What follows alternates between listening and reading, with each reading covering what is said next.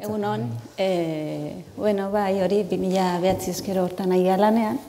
Bueno, bakizute kultur proiektuak ere fase ezberdinak izan ditu eta ditu bere definizioan, eta gaur egun esan dezakegu eta aurrea begira ba, ubik edo tabakalerako mediateka sorkuntzaren e, inguruan lan egiten duen e, liburutegi badela. Sorkuntza liburutegi bat izango litzatekena, ez? Eta azken tendentziak pixkat begiratu ezkero e, mende berri honetan e, ze berrantolaketa planteatzen ari den liburutegien inguruan, badago multzo bat e, liburutegi, sorkuntza liburutegien inguruan, eta nolapait guk gure burua hor konkatzen dugu, besteak beste eta ezinbestean tabakalera kultur proiektua sorkuntzari bideratutakoa proiektua denez horri erantzun behar digulako. Eh? Orduan hor sorkuntza landuko da, e, sortzailekin, hiritarrekin eta orduan ubikek, e, bere mediatakak ere horri erantzun behar dio. Ubik izena, ba, bueno, igual buru gorkeri bat izan da oianaten ere partetik, besteak beste, baina bagenun behar bat, ez liburutegi, ez mediateka, gure ustez e, e, horrelako zerbitzu bat irian martxan jartzeak badauka eskakuzun, eskakuzun, eskakizun berezi bat dauda e, no, ekarpen bat egin bar dio. Ze, badaukagu liburutegi sare on bat, baditugu e, zentro espezializatuak, orduan ez bada ekarpen bat egiteko e, bere kultur proiektuari erantzutarekin batera, ba, beste zezor planteatzeko. Orduan ez genekin izena e, artxiboa den, mediateka den, liburutegia den, eta orduan gu ubikekin komodo sentitzen geha, zegoen hor badago novela bat, e, norbait fikzioaren inguruan e, gustatzen bat zaio, eta ubik da nahi dezun hori. Eta denarako balio du eta moldagarria da eta horrek ematen digu halako modlagarritasun bat denera ustez beharko deguna. Orduan, e, bueno, e, kultur proiektu horren barruan e, lan, lanean ari gera, eta bueno, hemen e, atal bat edo esplikatuko izuet. E, jardunaldi hauen edo liburutegiaren egunan inguruan ze programa eta bideratu nahi genuen itziten hasi ginenean, ez da, arantxa eta arantxa eta Susana eta bar, e, bueno, argi genuen, ja, e, profesionali begirako plataforma bat edo elkargune bat behar genula aurrek urtetan ere lantzen, e, saiatu garena lantzen, eta bazela garaia e, e, gure inguran genitu nahi bat e, proiektuak ezagutzeko edo aukera emateko.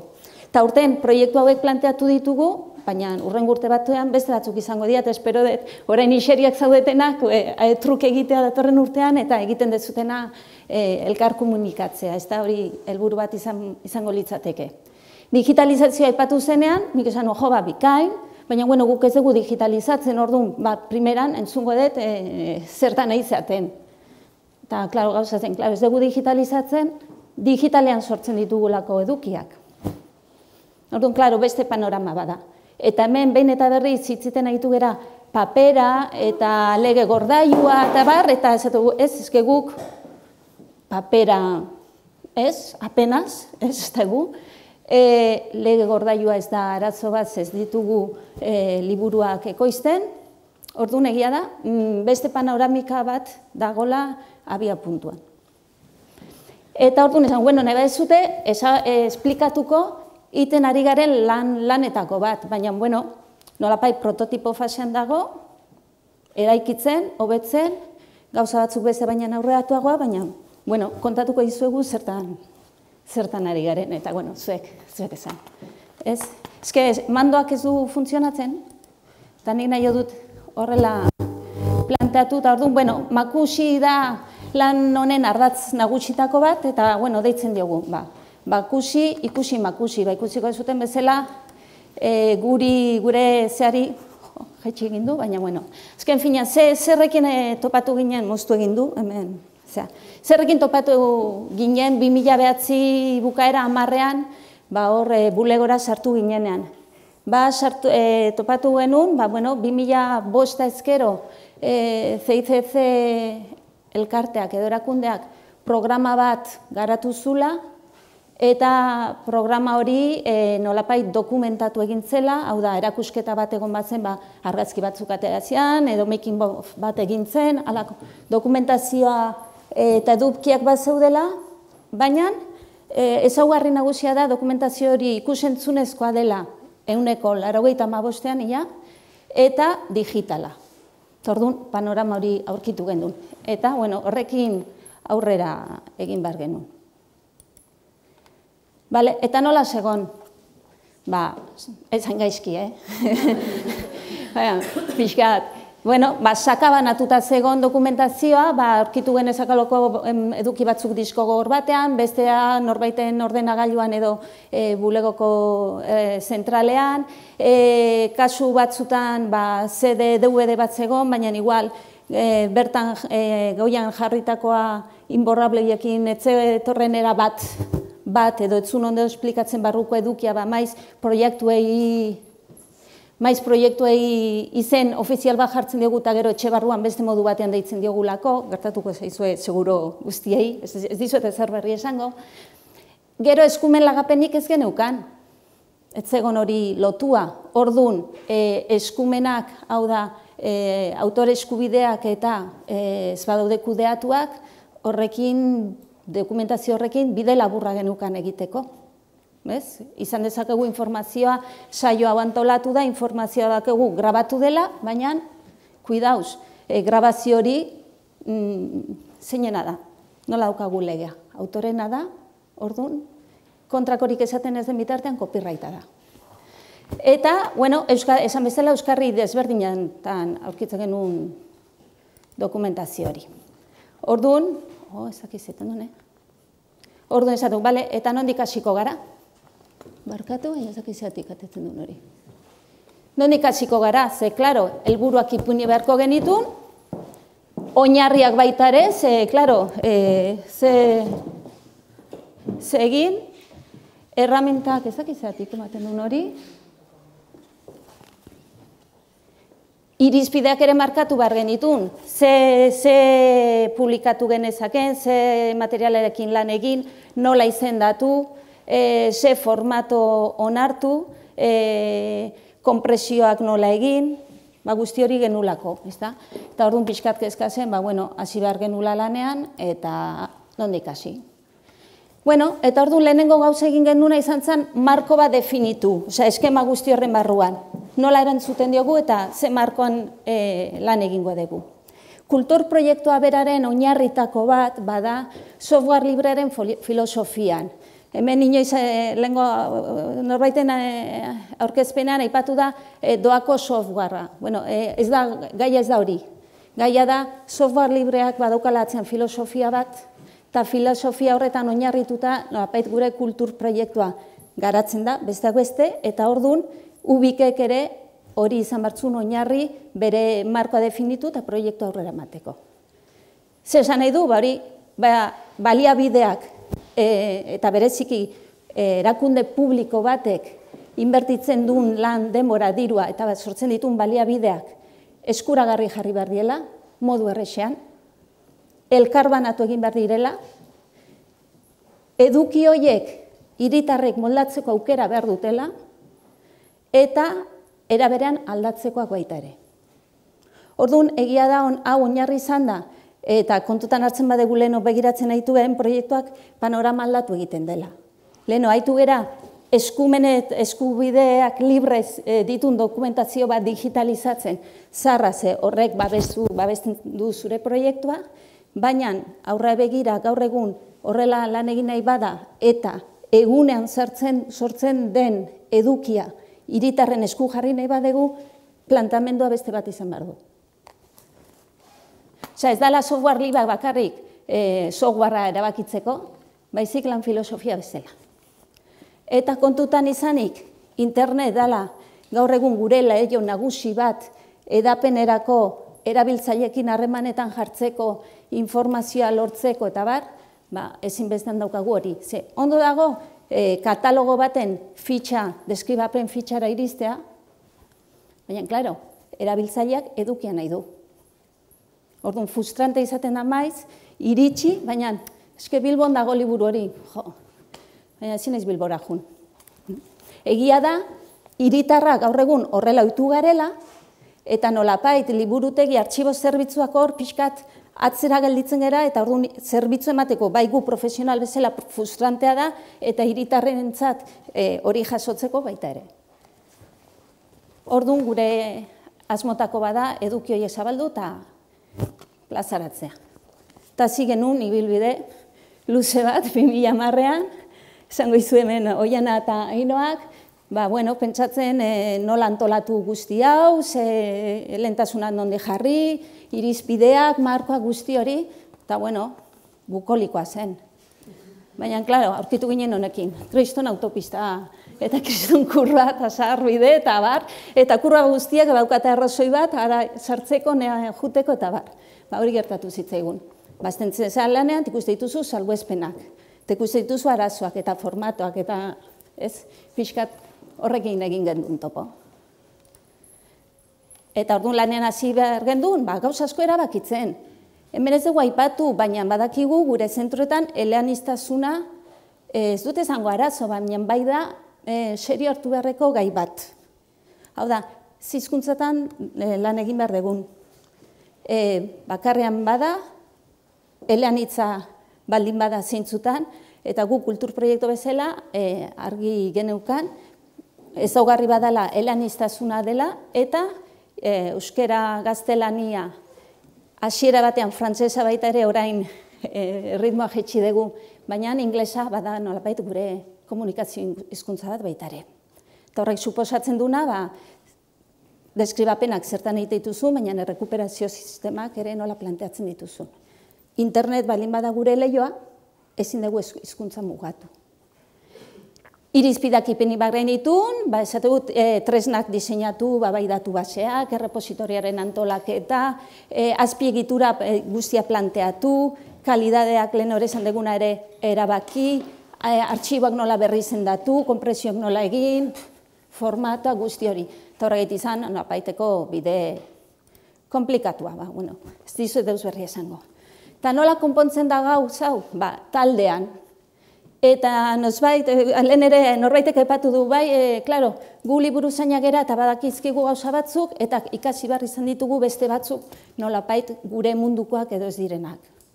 Bai, baina nera beren egia da, guk ezin dagula dena jakin. Eta ohitua gaude maiz, liburu zainak liburu zainekin lan egiten. Eta lan egin behar dugu beste sektoretako profesionalekin. Inongo komplexori gabe, bai, e, guk ikusten ez ditugu hainbat gauza eta pista ematen dizkigutelako eta konponbidea baita ere. Eta gure kasean aro gehiago, ze e, software librearen filosofio honetan e, taldearen parte hartzea, hau da lan taldearen gure kasuan bulegoaren parte hartzea ezinbestekoa da. Guk programa bat antolatzen badegu, demagun junden astean edo arkitektura astearen barruan programa bat antolatu du, eta hor e, bulegoko talde bat aitu da, hilabete luzez lanean e, beraiek daukate hasierako informazioa, ze antolatzen nahi dira, ze kintz antolatuko duten, nola dokumentatuko duten, orduan ez baditugu zertzen gure lan zirkutuan hasieratikan iritsiko gera, azken momentu batean, olapait irudikatuz lehengo eskema, non, kaja bat iristen zaizu, plum, material pila batekin, eta hasi horrekin lanean, ikertzen. Claro, eta hori digitalean gertatzen bada, Bai, etxoin, argazkiak daude alako karpetan, beste mm, etxoin, ez, e, za, grabatzaileak oraindik ez du ekarri e, ikusentzunekoaren montaia, baina e, brutuak daude, ez da posible.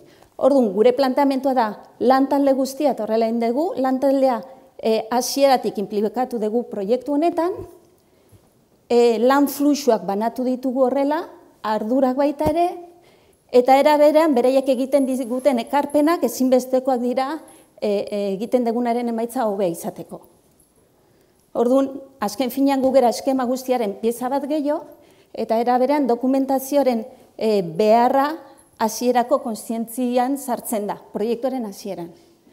Eta zeatik besteak beste, ze sortzen degun dokumentazio guzti hori, eduki guzti horiek gure programan, bakarrak dira, lehen ere esan aipatu dezute, zuek digitalizatzen ari zeaten olapait, ez, bakarrak diren aldizkari hoiek. Beste inork ez ditu eta ordunik egingo du lan hori. gure planteamentoa da, gu programa bat antolatzen badegu, eta elkarrizketa bat ez dakineri, ez egin balin bat zaio programaren barruan, elkarrizketa hori bakarra da. Ez da argitaletxe batean argitaratu, ez da ekoizetxe batean e, gero DVD-etan saldu, eta bar, eta horrek gure kultur proiektuaren ekarpena dauka. Arrazoi bategatik egin zaio elkarrizketa hori. Orduan, elkarrizketa hori ahalik eta azkarren, iritarren eskura jartzea, da gure gure helburua. Hmm?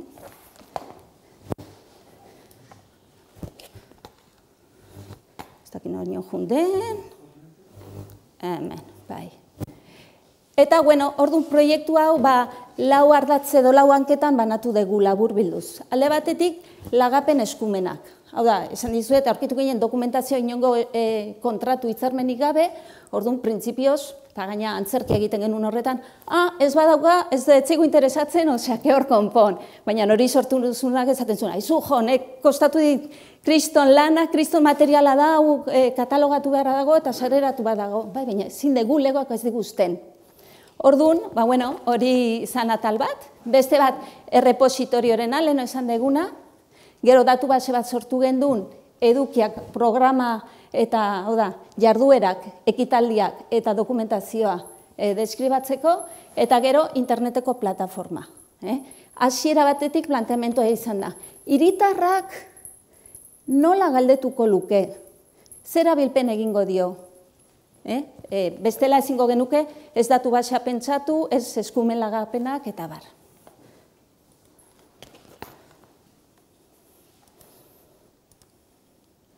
Orduan, lagapen eskumenekin zein gendun, ba, lehenik egile eskubideen inguruan eta aditua zen e, abokatu talde batekin lan egin. Eta esan, gure filosofia, gure lan e, izara, software, public, e, software libretik doa.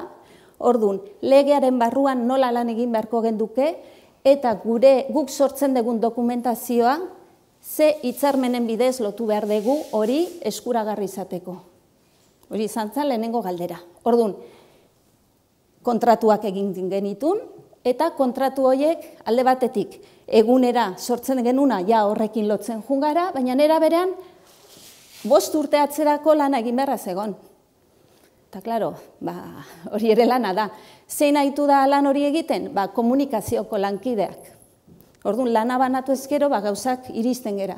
Orduan, lehen ere beraiek kudeatzen zuten bereziki guzti hau, eta orduan, kontrato retroaktibo edo atzera begirakoak ere eguneratu dituzte. Eta orain ja, egunean egunekoak ematen ditugu. Adibidez, gaurko saioa, streamenean emateko kontratu bat behar da, eta guztia ibidea linien, e, espero dut gero sinatuta jasotzea, non eskumena, eskumena ematen zaigu, zuzenean emititzeko, eta grabatzeko, eta baita ere, sareratzeko. Eta orduan, bai, herri liburutegitan, eta bai, proiektutan, ba, egiten dira, eta igual, irudi eskubideak bai kudeatzen dira, bereziki aurrak tartean baldin badaude eta bar, baina, bueno, e, gure sisteman barneratuta beharko genduken, zea bada, e, irizpide bat. Hmm? Inork interesa izan ezkero, ba, e, guk egina ditugunak edo zuei pasatzeko edo begiratzeko edo, ba, ba hor daude, eh? guk landu ditugu, erakunde publiko bada eta aurreratzen dugun lana guztientzat aurreratzea balin bada bikain. hori, hori hala da. Orduan, bueno, kontraton guztia egin zuten, etzien erotu, baina iritsi zian. Orduan, bigarren ardatz bat, errepositoriona da, hau da, baina oso modu sinplean daukagu antolatua. Guk dokumentazio guzti hori badizko gogorretan eta bar banatuta genduna, nonbait kokatu nahi genuen, ze, klaro, disko esterno nahiak kaos bat zen, eta arazoak emate dituzte, eta gainera e, foioi bada, azken ez dakizu duplikatu okazun, ara junden, hone etorri den, bestia falta den, eta egin genuna da repositorio dokumental bat montatu, eta hor zartzen dugu dokumentazio guztia, momentu honetan, zazpiterako volumena daukagu kargatua kontutan izan ikusentzunekoa dela gure oinarri importantetako bat. Ez leheno entzun dezuten beste volumen arabera. Eta egia da oso bizitza labur eta programa laburra daukagula baina. E, pentsatzen du ja e, fabrika, ez, kultur fabrika topea dagoen momentu horretan, ba, programa ere tope egongo da eta orduan gure dokumentazio volumena ere handituko da asko. Orduan oso sinpleki antolatu daukagu gutxi gehiago euskarrien arabera, zirriborroak diren edo ja e, zareatzeko den, hainoak begiratzen dit, ze hainoak ibiltzen da guzti horrekin eta hau dokat berri zendatzeko eta beste guzti hori. Eta, eta gero baita ere, e, bueno, baten barruan, kasu honetan, ja, e, hemen, e, gero esan izuet, e, obra bera guretza proiektu bada, obrako ikusentzuneko dokumentazioa handia izaten nahi da, eta kasu honetan, ba, bueno, hor juten da guztian tolatzen, dena e, berri zendatzen, konpremitzen, orduan hor daukagu kontrolatua. Baina egia da, eskertuko genukela, erakunde batek, nazioko errepositorio hori ipiniko balu, eta guk horrera emango bagenu dokumentazioa. Besteak bestea, ba, gero itzingo dugu, baina refresko guztiak egiteko, seguridade kopian ere beste maila batzutan ibiltzeko, eta bar, eta bar, eta bar. Baina bada, bueno, arazo bat, eta guk oraingo zorrela erantzun diogu. E, irugarren hanka guretzat edo ardatza, datu basea da, eta igual hau pixkat komentatuko izuet sakonago. E, merkatuan ez genuen aurkitu e, produktu bat, non mm, informazioaren kontrola eta edukiak e, deskribatzeko e, nahi genuen bezala edo maila sakon batean aukera ematen ziguna, beti ere estandarrak beteta, eta era berean gero internet begirako plataforma erantzungo zuna. Eta orduan, bi tresna kina lanean, bi enpresa jarri genitun mailan eta esan genien, presa altzaudete elkarrekin lan egiteko, baietzen zen zuten, eta egia da, bidea ona, ona izan dela. E, orduan, datu base bat de, deskri, bueno, definitu behar izan gendun, datu base hau maiesekuelen e, landuta dago, ikusten dezuten bezala elanitza da. Hau da, elaniztasuna ez bakarrik informazio zabaltzerako, eta ikusiko dugu gero ez da simetrikoa, baina baita ere elaniztasuna e, lan egin nahi duenak, nahi duen hizkuntzan lan egin alizateko. Ze gertatzen zaigu, eta ja gertatu zaigu, segun eta zer proiektutan, e, aditu bat behar badegu dokumentazio bat lantzeko, ba, ditu hori Madrilda bada eta euskaraz ez baldin badaki, ba, gero ikusiko ditugun eremuak behintzat jakin berak eska, espainolez daudela eta ulertzeko. Ez, ba, aktibida, i evento, i tal, eta e, berden beste enbat informazio, orduan berez plataforma ere e, lehan hitza da. E, gero administrari modulo importante badauka, beste, beste laguntzen digulako, alik eta gehien e, gure lanean autonomoak izatea. Hau da, enpresaren menpe egotea behin eta berriz. Jo, hau gehitu behar dut, haizu incidenti bat, hau gehitu behar zaio, hau moldatu behar da, honek arazo ematen dit. Ba, gure lanak izugarri oztopatu egiten dira horrelako bakizute zuek zegertatzen denez. Pentsatzen dut edo, orduan, hori ere alik eta harinen izan, izatea. Horrek laguntzen digu kudeatzen bai autoridadeak, bai zerrenda kontrolatuak, e, bai plataforma beraren mezuak, bai e, proiektu honetan edo datuak kargatzen parte hartzen dugun guztien eskumenak, ez? Orduan hori moduarin batean egingo genuke. Orain, ba ez dakit, e, zutako batek esango balua, ba nik hor ez dakit sartu nahi dut, ba irekiko genuke perfila, eta ja zuzenean ja laneko aukera daukazute zuen baldintza behan. Eta da oso gauza errexak egiteko, baina egunerokotasunean nik uste dela asko laguntzen dutena. Eta bestela hoianak esango izu ez beti ibiltzen da horrekin. Adibidez, etiketadoa ere mendik ematen dugu, elean hitza hori bai da simetrikoa, eta kasu horretan, ba, eguneroko tresna hori erabiltzea eta moldatzea erresa da, zezuak izute, eta euro bat edo kontrolatu behar denean, egun egon behar da gainean. Orduan ez bakazu gutasun hori eta erabat lotuta zure tresnarekin, ba, komplikatua da. Gero, bueno, arbela deitzen digun atalau da non bakotxak hemen agertzen da neria junden egun batekoa, non agertzen da zelan daukadan hemen pendiente, eta ordu nik ja hor liberatzen dut, ni gutxiten dut hemen, egia esan. Baina, bueno, ja horra gertzen da, ez, e, e, zer lan daukasun hor pendiente, hainoak lan bat egin dutan ikorendik ez diot, e, oienak aldatu du, baina hau ez dugu bukatu. Ordu, bueno, ikusten dugu ere bakotxak, eta norberaren arbela berea da. Eta orduan oso ondo dago lanaren kudaketa emateko.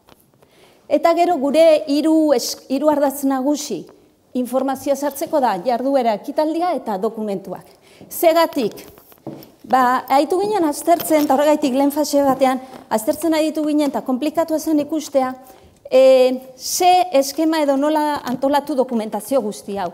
ez? E, egunero sortzen zen, ez dira liburuak, ez dira argitaratutako liburuak, hainbat formato desberdinetakoak, ba, argazkiak, batzutan erreportaia dira, beste batzutan argazki soltua dira, e, brutoak, ikusuntzunezkoak, e, diferenteak.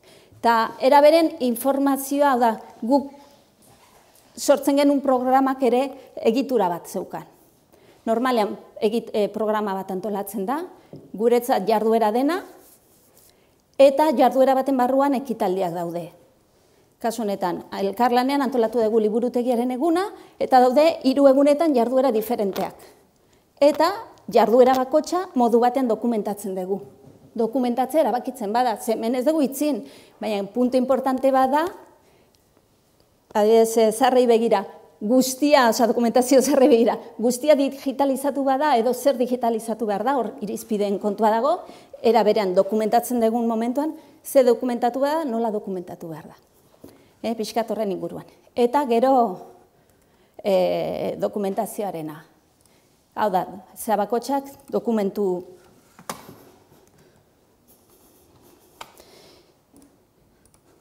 mm. Abai.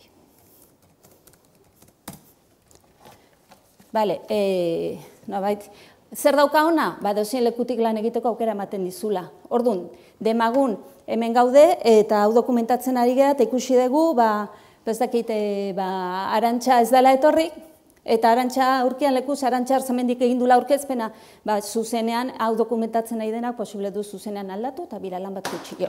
Edo, beste non baitik ari bari bada jendea lanean, ba, bueno, horrek ematen dizu malgotasuna. Hmm? Orduan, bueno, esan bezala guk egitura hau eman diogu, baina ez esan nahi dut, Egitura dago eman diogu informazioaren kargarako, baina erabat erlazionatua dago. Eh? Iru nibelak erlazionatuak ditugu erabat. Ordun. Ba, bueno, urtero egiten dugu programa bat, labo deitzen zaiona, kasu honetan jungo naiz, mila mabiko adibidera, baina beste dozien izan daiteke, eh? kasu honetan, Labo e, 2012koa da, film labor esperimentalak, izen buruak honetan ofizialki bai bizkuntzetan ematen da, eta bestela guk irizpide bezala daukagu Euskaraz eta Gaztelania zegoen behar dula. Eh? E, bueno, oiko informazio datuak batzuk sartzen dituzunak, edo zein proiektutan, proiektu horren URL-a beti ere daukan kasutan, ze motatako e, jarduera den, hau dia pro, pro, e, dut, proiekzioak, e, beti irudiaren ja miniatura bat ematen diogu gero visualizaziora begira, e, bar, oharrak dira barruko oharrak, eh? kasu honetan deskribapena lau hizkuntzetan eman, emana dagonez, lau hizkuntzetan sartua dago, hm? Ta honetan oso importantea da, ba, programa bantolatu duen pertsonak informazioa usartzea ja aurreratzen dizu guzti hori, badakigu bera kontrolatzen du, berak sartzen du informazio hori, orduan ja aurrera egiten dugu erresago. Guk validaziotan sartzen gara. Kasu honetan Donosia Kultura eta Tabakelera dira antolatzaileak, etiketatu egiten da eta hasieratik eskatzen zaie etiketak ipintzeak, etiketa kontrolatuak ditugu, eta horrek ba, bere jarripena eskatzen du. Ba, hemen ikusten dezute, ba, bueno, ekitaldi batzuk ditula, ba, bost proiektzio egun, aurkezpen bat eta prentzaurrekoa. Eta gero dokumentu guzti hauek daude hor lotuta. Baina nera berean, erlazionatua daukagu beste labo jardu, jarduenarekin. Bai. E, prozesuan aterateko edo sortzeko laneko dokumentuak Ezartzen dituzue hor, adibidez mezuak, ez dakit... Eh, ez, programa. Programak bakar. Programa sartzen dugu, e, eta ez da, nolapait, artxibo administratiboan sartuko genduken guzti hori. Mhm. Itzarmenak eta guzti hori ditugu hemen sartzen. Vale. Hmm? Nolapait da programa eta programaren dokumentazioa, programa dokumentatzeko e, era. Bueno, hemen ikusten zute, orduan sartuko bagina egun batean, ba, lotua daukagu zezearekin den, eta ja, e, jardu egun horren informazioa sartzen dugu zuzenean. Orduan, programa ematen duenak hau sartzea erresa da. Eta orduan gu orain dikan, nola baita izateko, fasionetan, e, liburutegikoak ez, ez gera lanean ari, baina ja informazioa hor dago. eta hau ja zuzenean jarri daiteke konsultagarri ja weban eta bar ibili gabe alde batetik komunikaziokoak weban montaje bat egiten eta gero artxibokoak nola izaten aparte beste montaje bat egiten. Zemendik e, e, datuak atera ezkero, zuk nahi dezun lekura, nahi dezun modean posible dezu esportatu. Eta orduan, argi da, baleabideak alik eta hobe aprobetsatu behar ditugula. E, eta hemen daude, ikusten dezu zuzentzeko fatxan ditugu, bueno, e, material batzuk, dokumentazio batzuk. Noiz sortu den, hor sortu den, eta zegoeratan dagon. Ez? Hoi izan daiteke, bueno, adibide, adibide bat. E, baina baditugu beste, eta hoi da, nolapait, gure, gure programa, baina ze gertatu da, e, audiolab taldeak, hau da, soinuarekin lan egiten dutenak, kriston programa dute, asko lan egitute, izugarrizko energia daukate, baina gero ez dira iristen, beraiek kude, sortzen duten edukia kudeatzera. Aldiz, guk ubiken, gure lan ardatz bai, bat bai izango da soinua eta musika esperimentala. Orduan, esan genuen, bale, neba ez zute, posible dugu hemen kudeatu, errepositorean jartzen dugu materiala eta izan daiteke gero ere konsultagarri, bai, ertzen egunean, bai gurean nahi dezuten bezala, orduan guazen lan egitera. Eta, bueno, ba, hemen eginda lan handi bat, Amar urte dira, oiana? Bai, amairu urte hori da. Orduan, e, urte guztioetako informazio guztia eta dokumentazio guztia sartua da golarik. Claro, modu harinen iten da. Kasu honetan zer egin gendun, beraiek ez bat zeukaten ordantzan. Orduan genuen destele hori hobetu eta esportazio automatiko bat prestatu onera. Orduan horrek ez du esan nahi, berriz ere banan-banan ibili behar dezunik. Orduan, ja, estel bat montatua daukagu, eta esportazio bat antolatu onera, gero ja da, beste zuzenketak, beste lan guzti horiek egin beharrak, eta eskuarten dituzen beste hainbat artxibo eta proiektu horrela funtzionatuko dugu. Orduan da, bueno, alik eta operatiboen izatea, modu erretxean. Eta tresna libre hauek aukera guzti horiek ematen dute. Eta ez dakit, ba hemen, adibidez, haber, haber sartua dago, nondo. Baina, eh, e, liburutegiaren eguna, atzo biratu nun, osak egon badu, baina, ja, bueno, sartua daukagu, ze ja martxan daukagu programa hau. Hmm? Ordu, bueno, ja, hemen daukagu informazioa sartua, hemen daukagu ja non daukagun miniatura eta bar sartua, eta bar, ja, martxan daukagu, ze ekitaldi antolatua dauden, eta ja dokumentu batzuia kargatua ditugu, ba, ja, pasazigutelako esku programa eta kartela listo da, eta atzeato, atzoateratoko argazkiak ja sartuko ditugu. Orduan, egin daiteke oso modu harinean. Izan gabe, amaitzen da programa bat, eta orain, hasi guzti hori zehatzen. Hori da nolapait planteamendua. Gehiagil usatzen nahi niz, eh? Bai zute egunkarian ateratakoa? Liburuterik garen e, egunean, adibidez, gaur prentxan atera diren argazki horiek, hori ere bai? Prentsako artikuluak adibidez, bai, ez. Justo orain lantzen ari gera beste, bueno, ze, hau da gure tresna bat, e, katalogarekin egiten egia beste lan bat, baina orain justo ari gera beste lan lerro bat irekitzen, dala kabuz deitzen diogun eh, datu base bat, non hor bai emango daukera hori egitera. Eta gero gure planteamendua eta gero erakutziko izuena da bilatzaile bakar baten bidez, guztira iristea. Bai, liburutegiaren katalogora, bai, kabuzera, bai, honea, ze, erabiltzaileari berdintzaio, erabiltzailea Google du buruan. Eta Googleen botzen du galdera bat, eta ez dio, ez dio galdetzen, ez, hau izan badu Madrilgo liburutegi nazionalean dagoen katalogoan nahi du. Ez, ez, ez, berak, galdetu iten dut, guk erantzun egin behar diogu. Orduan, hortik jungo zan guzti hori. Eh? Eta, eh, bai,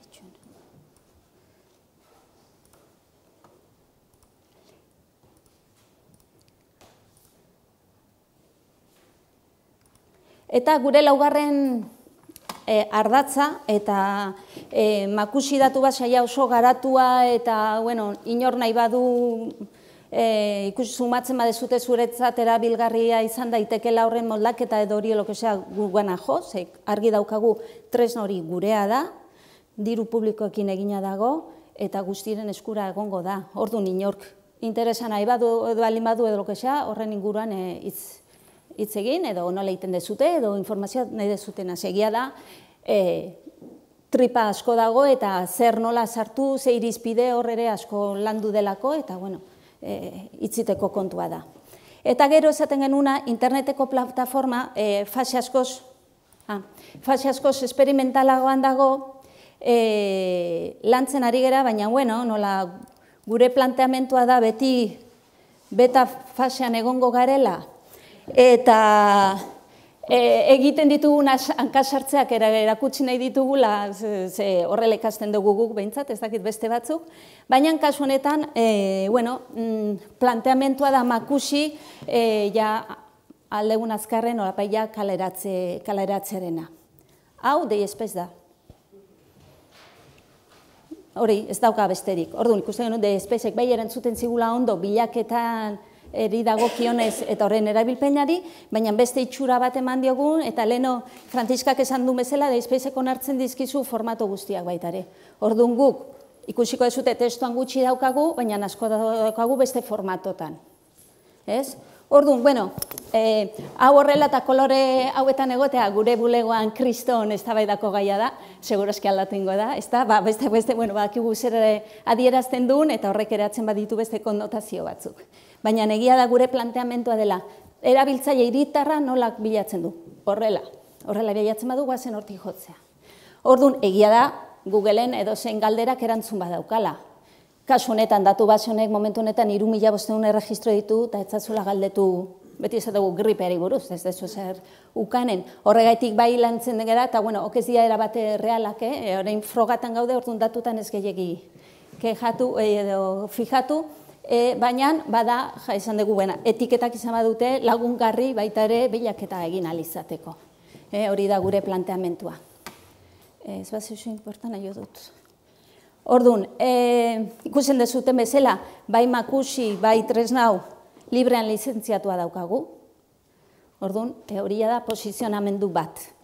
Eta bertantik, konsultatu izango diren dokumentazioak, e, dokumentuak, edukiak, ere libreak dira. Hmm? Orduan, alegin berezi egiten da, hori ala izan dadin. E, e, eta ez dakit, kasu honetan, e, enkuentrona jarriko dut. Hau da, zinemaldiarekin elkarlanean antolatzen den ja, e, ekitaldi bat, e, zinema eskolen topaketa dira, labur metraiak aurkezten dituzte, lehiaketa badago. Lehiaketa horretara urtero batez beste eunda berroita mar film labur aurkezten dira. Ordun, eduki hori galtzea izugarrizko pena da. Eta batez egu sorkuntza zentro bezala horrek ematen ditun aukerakin. Ordun, eskolak izena ematen dunean, zinemaldiko horrian, nik e, labur metai hau aurkeztu nahi dut, ja e, lotua landua daukagu beraiekin, nola sartzen dituzten datuak, gero hori guk onera automatikoki esportatzeko. Orduan ez da berriz ere astea, baizik prozesu horiek arintzea. E, gero beste lana da, e, DVD-tan irizen dela film bakoitza, eta orduan nahi noa ibiltzen dela repositorioan kargatzen bana mana, komprensioak egiten, eta guzti hori. Baina beraiek ere erabakitzen duten momentu horretan, ze lizentzipean usten duten beraien lana. Izen amaten ari den momentu horretan. Hmm? Eta, ez dakit, hau izango den, no? Hau da, kasu honetan daukagu jarduera horren informazioa, bere URL-ekin, hemengo beste etiketa hauen bidez eren abegatu dezakegu, zekitaldi ez da gondo, zekitaldi gehiago daude, dauden dokumentuak eta relazionatuko jarduerak.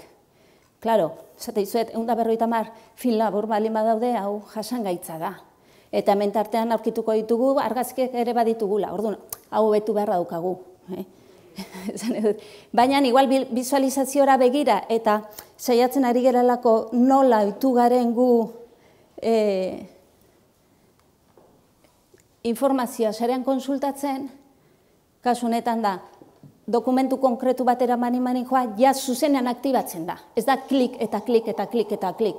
Eta irakurtzen ari naizen bitartean ja daukat filma ikusteko aukera edo argazki erreportaia ikusteko aukera dena delakoa eta hau dei espesa. Orduan, ona da ze estandarrak betetzen ditugu, baina nera da, eh, ona da ze beste malgutasun fase bate onartzen digu. Eta, ez dakite, hemen, hemen ere daukagu, ba, ikusiena eta azkena, oso ondo funtzionatzen du, igual ikusiena ikuste, uste izuet ikusteko, ba, dokumentutara izena gerenean, ze dokumentu den ere ikono bidez ikusteko aukera daukagulako. Eta, bueno, baina, kasu honetan, soinua ja implementatua dago. Londresen egoitza duen Power the Pixel konpainiako sortzailea, Ja, hori zehatua daukagu, ez? bere saioa laguntzeko Vale. edo titular bat. Zer dira transle... Orduan, e... Bueno, maika.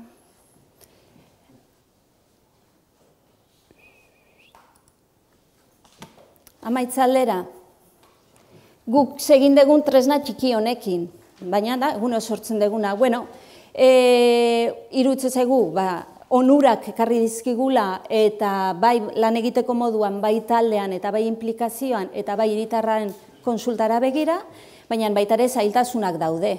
hm? E, ba, guretzat e, oso onuragarri izan da, talde osoa implikatu du arazi dugulako, igual batzutan portxatu, baina jo, jarrera ona da batez ere gero emaitzak ikusten dituztelako.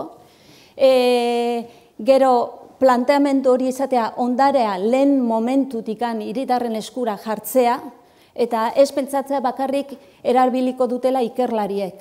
Ez, denak. Kontutan izan, e, e, hiritarrak gero eta gehiago dira sortzaileak, beraiek ere materiala sortzen dute eta materiala bila dabiltza. Eta material hau aukera daukate gaina aldatzeko. Orduan eskura jarri behar da, gure ardura da. Software libreak ematen digun malgutasuna oso importantea da. Software libreak ez du esan nahi doakoa denik, behinta berriz esaten dugu, hor inbertsio bat egin behar da. Eta nik uste dut guzti honetan, un honetan, ba, berroita bi mila euroko hueltako inbertsio bat izan dugu proiektu osoan. E, testua ez den beste dokumentazioarekin lan egitea guretzat izugarria berazgarria izan da, beste planteamendu bat egitera behartzen zaitu, eta gainera divertigarria da, hori ere importantea da, egunero lan egiteko. Eta beste alde, ba, arrisko hartzen ari gara, ba, seguraski gauz askotan hanka sartuko dugulako. Baina, bueno, guk hori alde positibo ezela jotzen dugu. Eta erabenean, zailtasunak, ez, ez alde txarra, baina zailtasuna da, irizpidak definitzia oso komplikatua da. Behin e, hartzen dezula gero batzutan atzera egin behar dezu horrek badakigu ze suposatzen duen lanean, Gero, hiritarren lekuan jartzea zaila da. Denak esaten dugu e, lan hauek egiten ditugula hiritarri e, gauzak erresteko. Baina nik uste dut asko kostatzen zaigula hiritarren lekun jartzea.